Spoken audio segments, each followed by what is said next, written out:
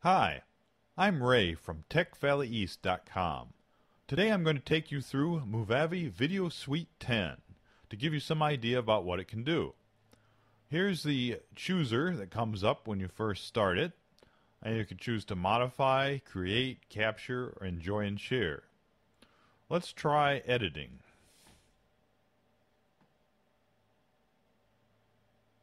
Alright, so here's the Edit Video Suite. First thing you want to do is hit File, and then Project Settings, and PAL DVD. I don't know why that's the default. I've always put Custom and do 1280 by 720. Aspect ratio 1 to 1, 48K stereo audio, and that's high def. This is probably what you want unless you're doing older video. Hit OK. Now we're ready to open a media file. Hit Open Media File. Go to your collection of videos from your flip or whatever machine you're using and choose a couple of them. It processes them and puts them in the preview over here. At this point, you can just go ahead and preview it. And check the other one. Alright, so let's say I want this one first in the timeline and this one second. Just drag them down. Now when you play back down here is a tricky part here.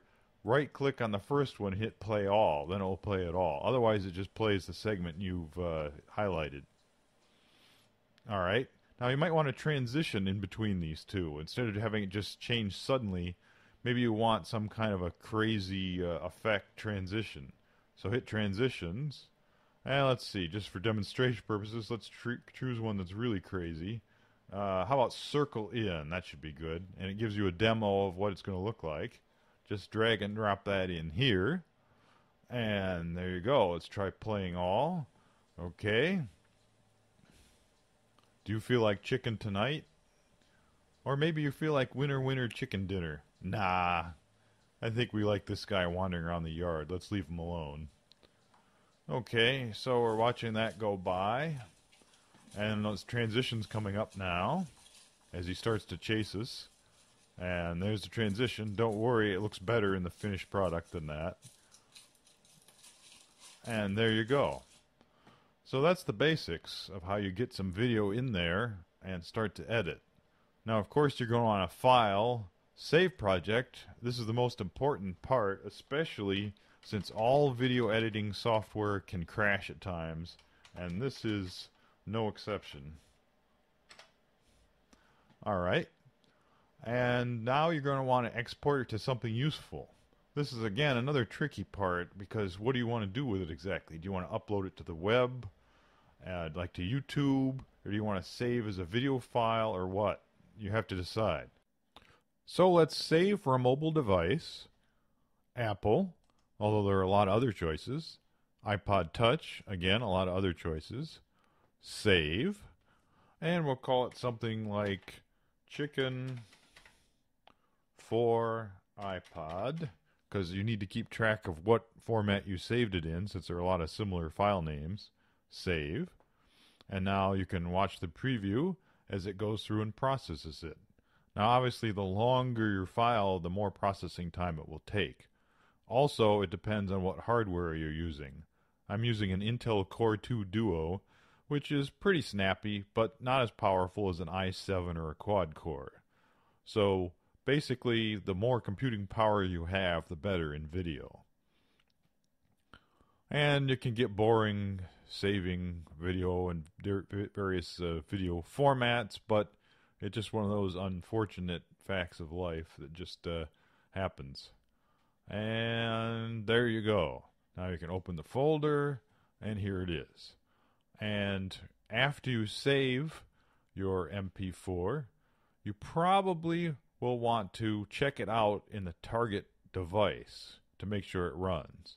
Now I have QuickTime on this computer, and QuickTime should be able to play this particular type of video because it's meant for the iPod. You would hope it would be able to play it, and it appears that it does. Now, you're going to have to play around with various output devices and uh, output programs because sometimes you're going to get the uh, bars here, the shadow box. It's just, uh, see that? The transition was better than it was originally. So that works pretty well. And there you go. Your, your project was successfully saved. Now, I have to admit that sometimes if you make a long project or make a segment that's really, really long, uh, sometimes she'll crash. I hope they'll fix that. There's a help check for updates, and I'm hoping that an update that goes beyond 10.00 comes out one of these days real soon. But those are the basics. There are a lot of neat features buried in here to play with, so it will keep your attention if you can uh, withstand the frustration of an occasional crash. Okay, now let's go back to the chooser and look at some other things it can do. How about screen capture? Well, as it turns out, I already have that running. That's how I'm making this video. Yes, I'm able to run this concurrently with actually editing video, and it works, at least on a Core 2 Duo. So let's take a look at what's going on. Here's this capture screencast. It's running. I don't think I can show you the options here, but when you first bring this up, you have to change the options. They're not set to what you want.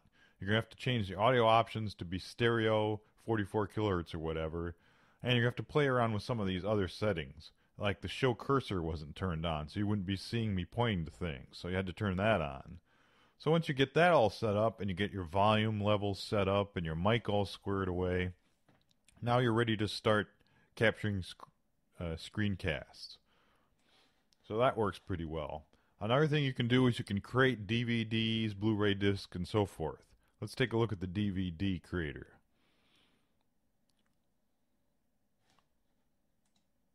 All right. So here we have Movavi Video Suite, create a CD or DVD. Now you can create video with this tab, or audio discs with this tab, or data discs with this tab, or copy a disc with this tab. So it's not just authoring a video disc. So you can add a file. There's our famous chicken video. You can add another file. All right, great. And you can edit this and put in a more meaningful name like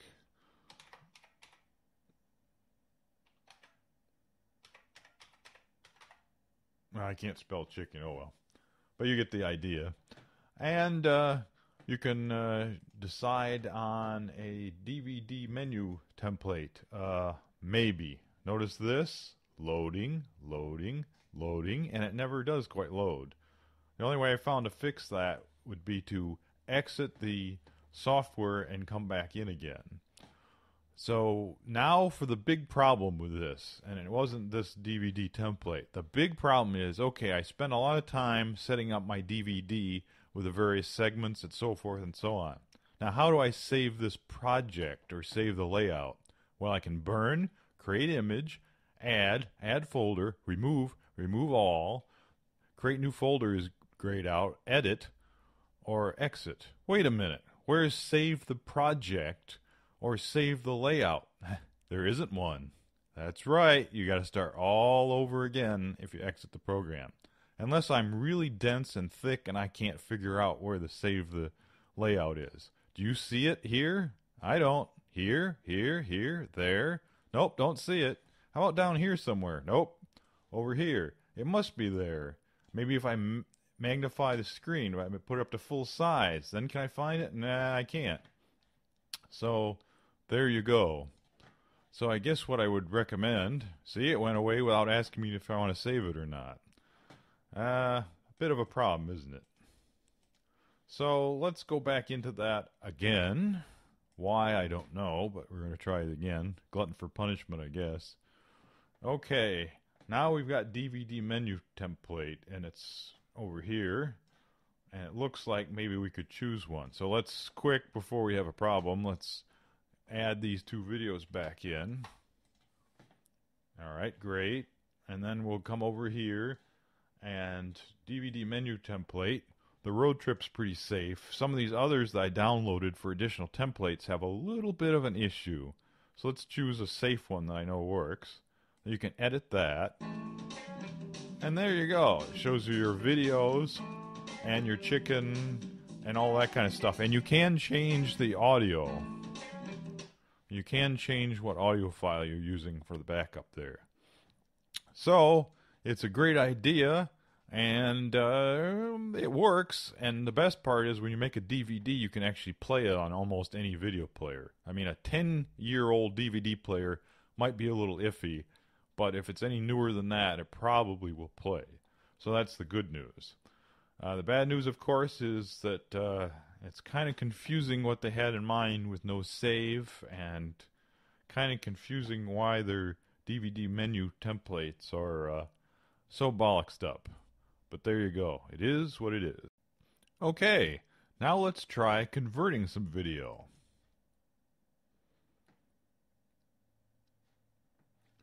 Movavi convert video and audio comes up. Then we can add some video. Make sure they're checked. They usually come up checked. Make sure it's doing it in high quality. And then just simply hit, well, you got to put in the uh, what you want, what format you want it in. Let's say we're going to use it on DVD eventually, so we want it in MPEG. And then put in a directory to save them. And then convert.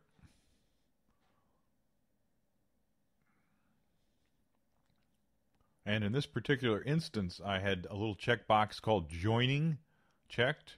Then these are the two chicken videos, so that's okay. So it's joining the two videos together, which is handy. If you don't want that, you just uncheck the box.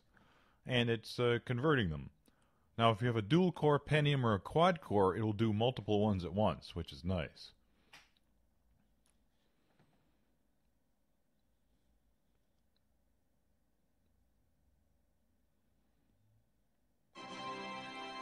And it opens the folder automatically to show you what it's done. And there you go. So now you could burn that to DVD or put that on some device that likes MPEG format. So that's about it for my quick review. There are some other features in here, of course, some audio, some data, and some photo, and you can play around with those. And they have some 3D things here I haven't played with yet, but that's uh, for the future. And uh, you can also capture video and VHS and TV, but you have to have a device installed that can do that. So, enjoy!